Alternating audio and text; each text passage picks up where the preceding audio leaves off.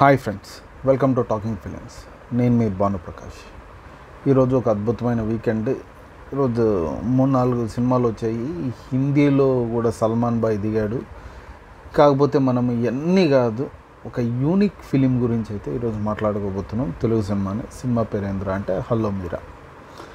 ఈ సినిమా వచ్చేసి ఎందుకు యూనిక్ రా అంటే ఒకే ఒక క్యారెక్టర్. అది చేసింది గార్గి. తను ఇంతకుముందు ఒక సినిమా చేసింది ఎవరికి చెప్పొద్దు అందరికీ చెప్తానో ఏదో అట్లాంటిది ఒక సినిమా చేసింది. ఈ సినిమా డైరెక్ట్ చేసింది వచ్చేసి first time director Srinivas Kakarla గారు. సరే ఈ సినిమా స్టోరీకి వచ్చామంటే ఒక అమ్మాయి ఇంకో రెండు రోజుల్లో పెళ్ళి ఉండబోతుంది విజయవాడలో ఉంటుంది.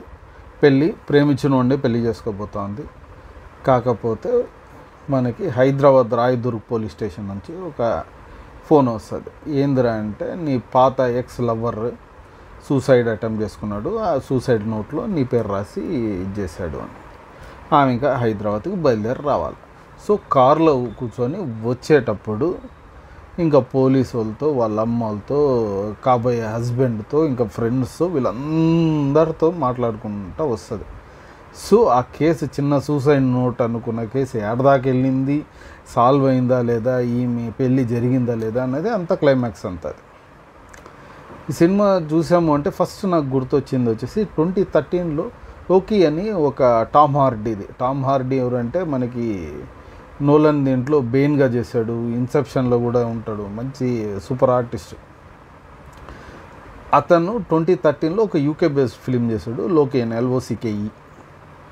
ఆ మూవీ గుర్తులు వచ్చాయి అది కూడా సేమ్ ఒక కార్ ఎక్కుతాడు కార్ ఎక్కి లండన్లో ఓ ప్లేస్ నుంచి హీత్రో దగ్గరికి ఏమో రాబోతాడు.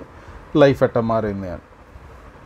సేమ్ ఇది అది ఇంచుమించు మనం ఇన్స్పిరేషన్ అనే చెప్పుకుందాము. ఎందుకంటే అది కథ వేరే లెక్కన పోతుంది. ఇది స్టోరీ మన ఇండియన్కి బాగా దగ్గరగా చాలా బ్రహ్మాండంగా వచ్చి ఉంటుంది సినిమా స్టోరీ అయితే మటు సరే ఈ సినిమాలో మనం పాజిటివ్స్ ఏంది నెగిటివ్స్ ఏంది కొద్దిగా డీటెయిల్డ్గా మాట్లాడుకుందాం. ఎందుకంటే మిగతా సినిమాల్లో అంతా వేరే క్యారెక్టర్స్ అందరూ ఉంటారు కాబట్టి మనం వాళ్ళు చేశారు వీళ్ళు చేశారు అనుకుంటాం. దీంట్లో ఒకే క్యారెక్టర్.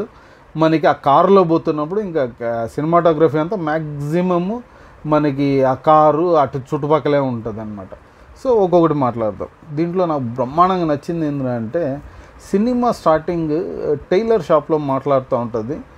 అక్కడ నుంచి బయటకు వచ్చేది ఇంట్రడక్షన్ నేను కనీసం అదన్నా చూపిస్తారేమో అనుకుంటే అక్కడ మటుకు డైరెక్టర్ చాలా తెలివిగా నేమ్స్ పడేటప్పుడు అది వాయిస్ ఓవర్లో కంప్లీట్ చేసి నేమ్స్ uh, పడి అయిపోగానే ఆమెని సింగిల్ క్యారెక్టర్గానే ఇంట్రడ్యూస్ చేశాడు. సో సినిమా అంతా ఆమె ఒకటే కనిపిస్తుంది. అది నాకు భలే అనిపించింది అది మటుకు. చాలా హైగా ఫీల్ అయ్యాయి. అక్కడ ఏమన్నా వేరే క్యారెక్టర్లు చూపిస్తాడేమో పొరపాటున అనేసి. ఎందుకంటే మనం మోహన్ బాబు గారితో ఒకటి చూసాం. ఆయన సింగిల్ క్యారెక్టరు ఇది అదే అని అందరిని వెనక నుంచి చూపించాను అనమాట ఇక్కడ అలా ఉంటుందేమో అంటే అట్ట ఏం లేదు సింగిల్ క్యారెక్టర్ సింగిల్ క్యారెక్టర్ వేరే వాళ్ళు ఇదేం కనిపించదు అసలు మనకి. ఆ విషయంలో సూపర్ అనిపించింది. మిగతా స్టోరీ అంతా మన ఇండియన్ మ్యారేజ్ ఉన్నప్పుడు బాయ్ ఫ్రెండ్ ఈమె తప్పు చేసింది జైలే తర్వాత సంగతి. ఆ గ్రిప్పింగ్నెస్ ఉంటుంది పోలీసులు బెదిరిస్తే భయపడ్డాలు అంత. నైట్ జర్నీ చేసేటప్పుడు ఉన్న ఈ ఓ ప్రాబ్లం పంచర్ అయితే ప్రాబ్లం ఏంది ఆ ఫ్రస్ట్రేషన్ అంతా సూపర్గా అయితే రాసుకున్నారు. దానికి పర్ఫార్మెన్స్. అండ్ ఒక మనిషి పైన కెమెరా పెడితే ఎంతసేపు చూడగలుగుతామండి మనం? నైంటీ త్రీ మినిట్స్ కెమెరా ఆమె ఫేస్ పైనే ఉంటుంది ఇటుపక్క అటుపక్క తిప్పుతూ ఉంటుంది. మహా అంటే ఐదు ఆరు షాట్లు డ్రోన్ షాట్లు పడతాయి కానీ కొన్ని షాట్స్. మిగతాదంతా కెమెరా పైన కెమ ఫేస్ పైన కెమెరా పెట్టి బోర్ కొట్టకుండా ఉండియాలంటే ఫస్ట్ డైరెక్టర్ గట్స్ ఉండాలా కథలో దమ్ ఉండాలా పర్ఫార్మెన్స్ చేసే ఆర్టిస్ట్కి సత్తా ఉండాలా ఈ మూడు అయితే ఈ సినిమాలో ఖచ్చితంగా ఉన్నాయి. కానీ ఉన్నాయి ఉన్నాయి నెగిటివ్లు కూడా ఉన్నాయి దానికి వద్దాము. ఇవన్నీ ఉన్నాయి. పర్ఫార్మెన్స్ గారికి చాలా బ్యూటిఫుల్ పర్ఫార్మెన్స్ నాకు భలే అనిపించింది. ఆ ఏడ్ సెటప్ స్టార్టింగ్ ఉన్నప్పుడు ఒక ఎనర్జీ ఫీలింగు ఆ తర్వాత పోలీస్ క్యారెక్టర్ వచ్చేటప్పుడు ఆమె ఫేస్ నీరసంగా అయ్యి అయ్యి అయ్యి అయ్యి క్లైమాక్స్కి వచ్చేసరికి ఆ మాడిపోయే ఇది ఉండేది అంత మటుకు భలే అనిపించింది. గార్గేయకి మార్కులు వేయాలా? ఇలాంటి కథని చాలా వరకు అసలు గ్రిప్పింగ్గా తీసిన డైరెక్టర్కి మనం మెచ్చుకోవాలా? And cinematography. ఇది నేను కొద్దిగా ప్లస్ మైనస్ చెప్తాను. ఎందుకంటే ప్లస్ వచ్చేసి చాలా నీట్గా డ్రోన్ షాట్స్ అన్నీ హైలైట్ వచ్చింది. ఆ విజయవాడ అని చూపిస్తారు డ్రోన్లో. Super shots. మళ్ళీ బయటకు వచ్చిన తర్వాత పెద్ద ఆంజనేయ స్వామి ఆ పక్కన four lane four lane road ఉండేది. అవన్నీ కూడా సూపర్ షాట్స్ అన్నీ డ్రోన్ షాట్స్ అన్నీ. మిగతా షాట్స్ వచ్చేసి స్టార్టింగ్లో నాకు కొద్దిగా బ్లర్రీగా అనిపించింది. కొద్దిగా అంత షార్ప్ ఫోకస్ లేదేమో అనిపించింది. ఆ తర్వాత ఆ గ్లాస్ పైన ఉన్న కొద్దిగా అటు ఇటు మచ్చల వల్ల నాకు కొద్దిగా ఆ ఫోకస్ అనేది కొద్దిగా ఇది అనిపించలే అనిపించింది. కొన్ని షార్ట్స్లో అయితే నాకు చాలా బాగా అనిపించింది. సో ఆల్మోస్ట్ ఆల్ సినిమాటోగ్రఫీ కూడా ఓకే. ఎడిటింగ్ వర్క్ వచ్చేసి ఇతంది కూడా మనం అటు ఇటు చెప్పొచ్చు. కొన్ని దగ్గర అద్భుతమైన ఎడిటింగ్ ఉంది. కొన్ని దగ్గర చాలా ఫాస్ట్ పేస్లో అయితే కట్ చేసి ఉంటాడు. టువర్డ్స్ సెకండ్ హాఫ్లో అనమాట ఫ్రెండ్ ఫోన్ చేస్తే ఈమె మెత్తుకోవద్దు కట్ చేయగానే వెంటనే వాట్సాప్లో మెసేజ్ వచ్చేస్తుంది. మెసేజ్ వచ్చిందా అని చూసే లోపల మళ్ళీ వెంటనే ఫోన్ వచ్చేస్తుంది. అంత ఫాస్ట్గా మెసేజ్ చేసి అంత ఇదిగా ఫోన్ చేసి అంత ఫాస్ట్నెస్ అయితే నాకు తెలిసి కష్టమే. అక్కడ కొద్దిగా టైం తీసుకుని ఉంటే బాగుండేది అనిపించింది. ఎందుకంటే ఈ మైన్యూట్ గమనిస్తాం మనం ఒకరే ఉన్నప్పుడు చచ్చినట్టు సో అందుకనే మనం చెప్తా ఉండేది ఇది. ఇంకోటి ఈ సినిమాలో ఇదైపోగానే మనకి ప్రీ క్లైమాక్స్ నుంచి క్లైమాక్స్కి కొద్దిగా త్వరగా రష్ చేసేసారు అన్నట్టు మట్టుకు ఒక ఫీలింగ్ అనిపించింది. ప్రీ క్లైమ్ ఒకరే ఉన్నప్పుడు అదేంది ఇదేంది అనమాకండి స్టోరీ మీరు అది చూస్తే మీకు అర్థమవుద్ది ప్రీ క్లైమాక్స్ ఏంది క్లైమాక్స్ ఏంది అనేది. మీరు అది అంత కొద్దిగా రష్ చేయకుండా కొద్దిగా ఉండుంటే బాగా అనిపించింది ఆ క్లైమాక్స్ తర్వాత ఇది వచ్చింది నెగిటివ్లు అంటే మనం ఏంటంటే ఈ ఒకటే ఉంది ఫోన్ కాల్లో అవతల వ్యక్తులు మాట్లాడుతూ ఉంటారు.